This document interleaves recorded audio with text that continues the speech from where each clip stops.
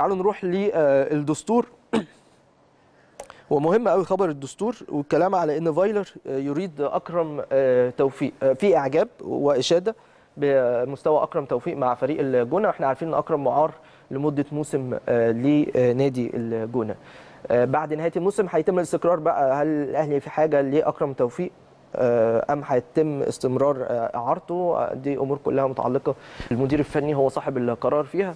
موضوع كمان إنه يؤجل عودة المعارين إلى صفوف الفريق. طبيعي موضوع المعارين ده هيؤجل مش يعني هو طبيعي جدا إنه هيتم دراسته مع بداية الموسم الجديد أو مع انتهاء الموسم الحالي. يعني أشوف أنا محتاج مين من المعارين واختار أشوف أنا عايز مين يبقى معايا السنة الجاية. لكن دلوقتي ما فيش فرصة إنك ترجع حد من المعارين عشان تأجل أصلا يعني.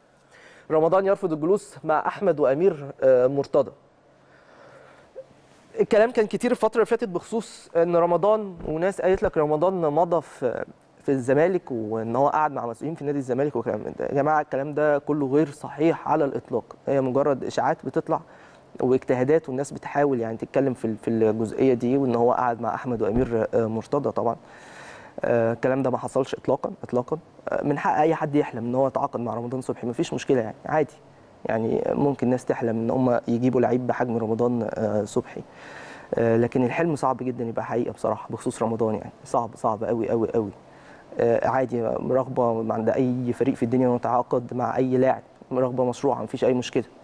لكن رمضان مش عبد الله السعيد يعني. عبد الله السعيد مع كامل احترامنا وتقديرنا ليه اللاعب ليه رغبة معينة وقرر إن هو يروح مثلا أو يمضي في, في نادي آخر. وعلى فكرة دي حاجة تخصه يعني. إحنا مش بننتقد عبد الله ولا حاجة. عبد الله من من أحسن لعيبة في مصر بالمناسبة يعني. لكن هو كان قراره كده. لكن مش شرط كل الناس يبقى قرارهم زي عبد الله السعيد لكن برضه عايز أقول إن هو حق مشروع لكل الأندية في التفاوض مع أي لاعب. لكن رمضان بالتحديد صعب قوي.